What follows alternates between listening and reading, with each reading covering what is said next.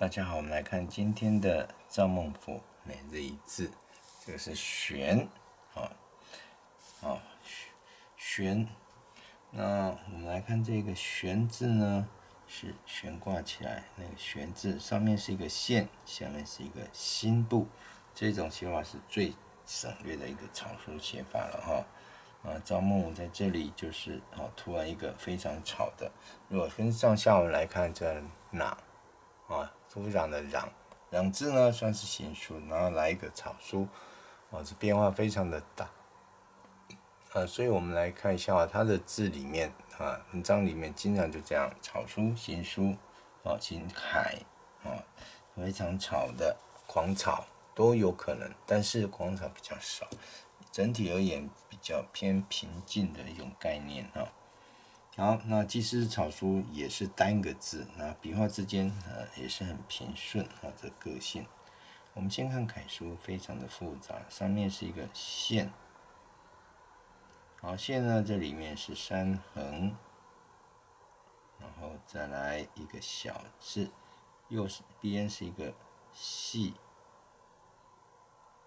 然后这也是一个小，底下是一个心，笔笔画非常的多哈，要写稳定啊，要小心安排。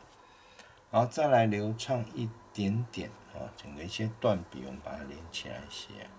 啊，首先呢，左边呢，我们常常会变成写一个木，然后再一个横画，啊，连续性加强，这个连着写了，啊，然后带过来。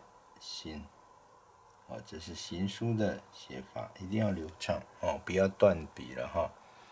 那再来，那更简单一点呢，就有时候这里就少一一横，啊，右边这一撇也不要了，啊，看一下，反正就只有这个字会这样写，注意直接带过来了，好，那这边直接带过来，少一横，直接也是带笔过来。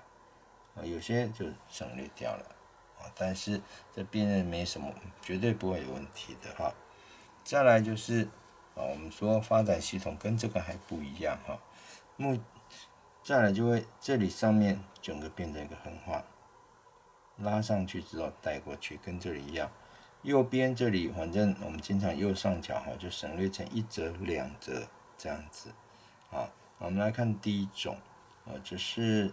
王羲之的尺牍，悬，啊，那右边是三撇，然后底下它还是写成一个心字，但是哦省略变成一横这样子，好，那当然还有不同的写法，我们介绍给大家看一下，啊，不同写法呢，呃，它。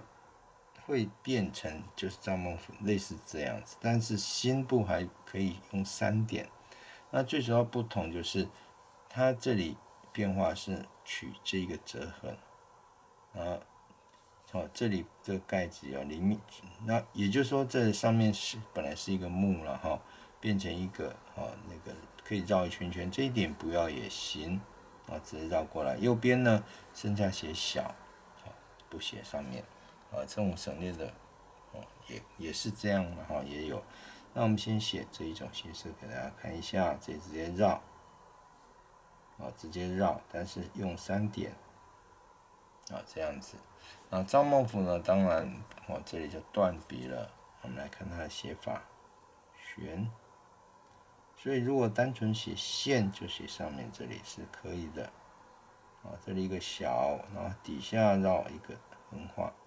这样子，啊，大家这样大家留意一下。